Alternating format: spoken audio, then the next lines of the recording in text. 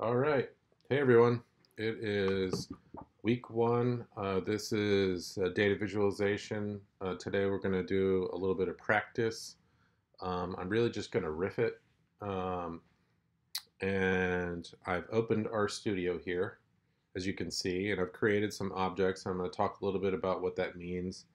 And uh, we're going to go through some basic code and um, just some very basics about stuff that happens in R. Um, so first of all, you see again that there are four windows and you can manipulate how they you view them, right? So you can minimize and maximize these windows as you see fit depending on what you need that day or at that period of time. Right now I'm going to focus on these two windows that are the script window and the console.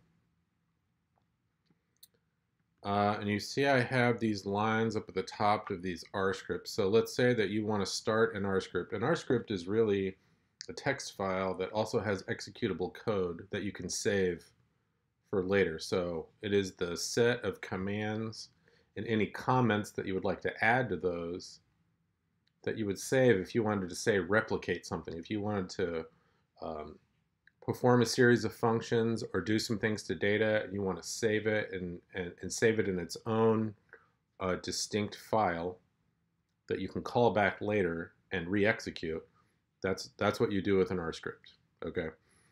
Uh, so I've got an R script here. So obviously you would go to File. Well, you can't see because I've cut this off but you would go to file and you would go to a new file and an R script and you would create a new one like this and you would you know write something like a new script or something like that and then you would go to save and then you'd save it and it would be called you know whatever new script.r and then you would save it, right? And then you could go and you could do all the things that you want to do inside that script. You keep saving it, then you can close it all down and go and call it later, and it will still be there. You can execute, and the same things will happen inside R. Okay. You see up here, I did this thing that was subtle with the uh, the number sign, the pound sign, the hashtag, whatever you want to call it. Uh, and this, what this does is it makes sure that when R is going through your R script and trying to execute commands and functions, that it does not read those particular lines so that you can add things that it doesn't understand. Right? Because if I took this away and I tried to execute, it would say error because I don't know what the hell that means. Right?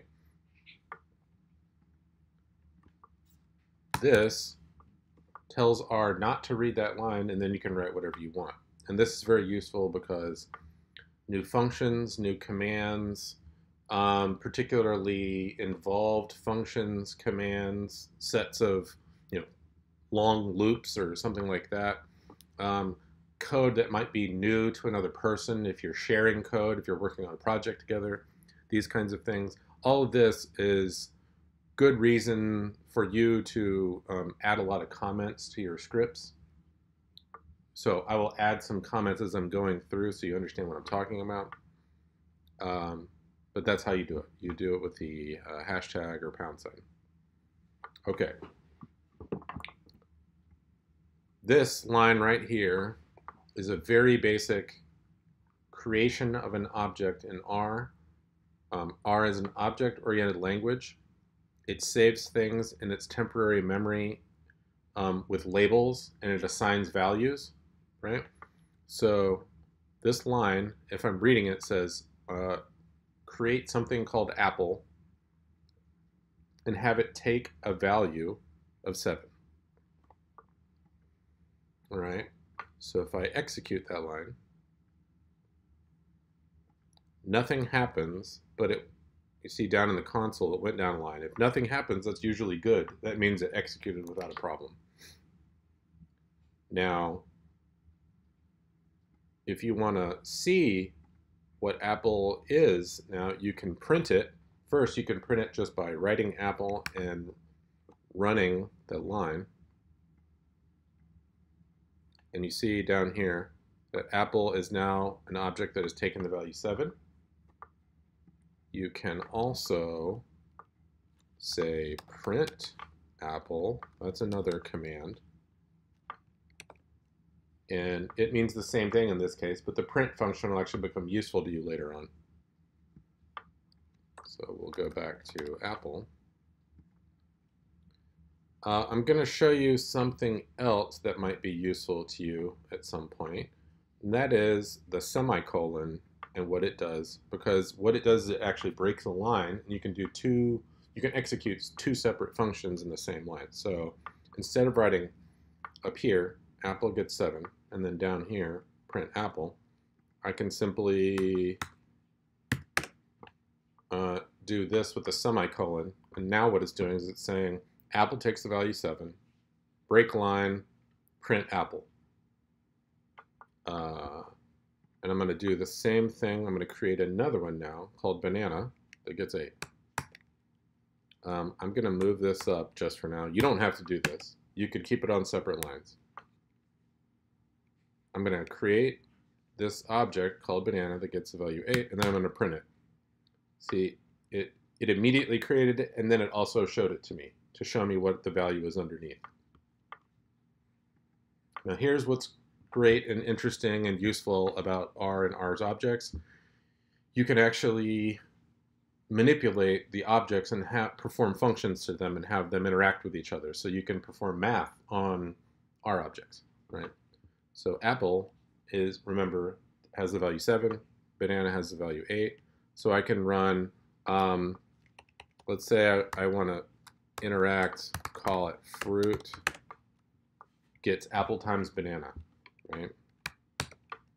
Okay, now something happened, but I didn't print it, so let's print it and see what happens. It takes the value 56 because it knew that apple was uh, a numeric that took the value 7, banana was a numeric that took the value 8, and it knew what to do with those things, right? Now, I'll, for purposes of sort of clean code right now, I'm just going to keep using these semicolons.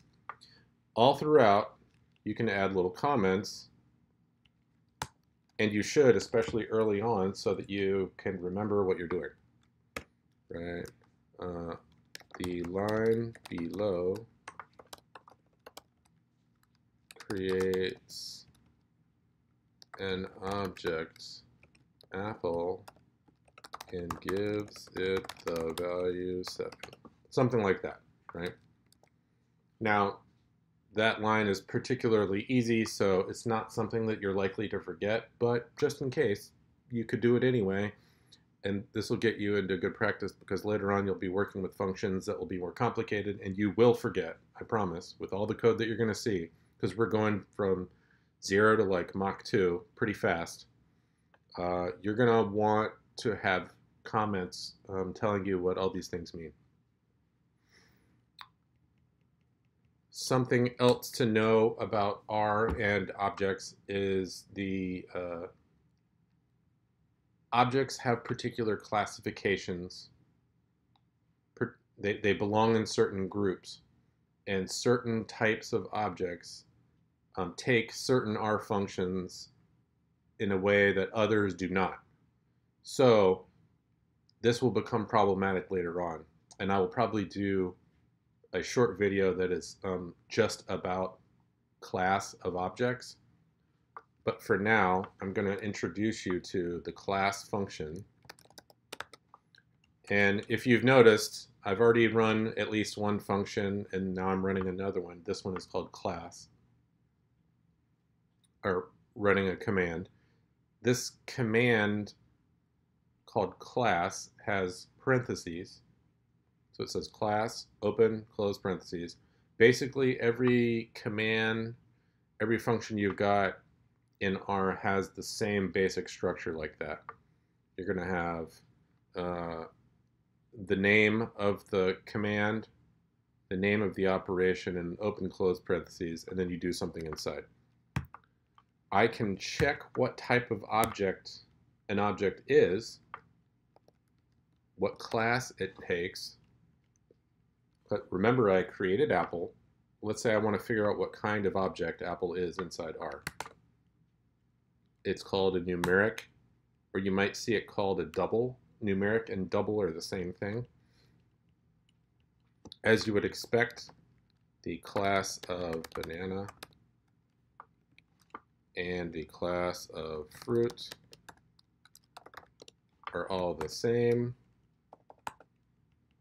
But there are different types of objects in R. They're not all going to be numerics. Sometimes they're text or character strings. Sometimes they're what are called factors that take a look. That that is actually a little bit more complicated and takes some explanation, which is why I'll do a separate video for those.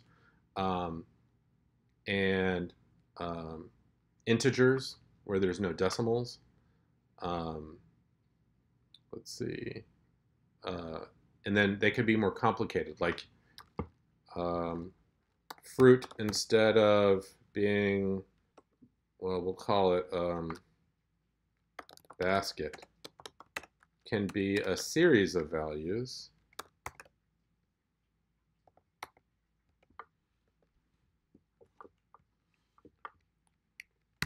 Now this is teaching you a new a new way to code something. Uh, basket, if we print basket, so I just threw in a new little piece of code there. The the C this this situation. It's called concatenate, concatenate, concatenate. Yeah, I think I spelled it right. Uh, that is sort of binding them together, right? It's binding these things together. So basket is now not just a single piece of information, it's three pieces of information that are bound together in a vector. Uh, so when I look at basket, it gives me back not one piece of information, but three, the one, five, and eight that I told it to take. What is interesting about that is that basket can now interact with, let's say, Apple. So that little asterisk is the multiplication in R. I executed basket times apple, and R was smart enough to take the vector basket with its three pieces of information, its three numeric values, and multiply it through apple each time. So it became uh, 1 times 7, and then 5 times 7, and then 8 times 7, so all, all together. Um, so you're, you're starting to see here how um, objects can interact with each other and how objects can be more complicated than just a simple one piece of information. Now, eventually, we're going to get to where objects are also complete data sets, matrices, arrays, um, lists, which are um, very complicated. But I'm going to have a separate um, video for you just about objects and and their structure. Okay. Um, all right, so that's enough for this particular video. Uh, I'm going to stop. Have a good day. Stay safe.